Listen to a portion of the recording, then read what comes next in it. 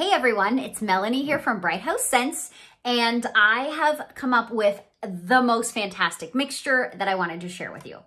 Um, lemon sorbet mixed with vanilla bean buttercream. It basically makes a lemon cupcake kind of scent. It's amazing, amazing. So this lemon is like, it smells just like a lemon drop. Uh, it's so fantastic. I use this all the time on its own.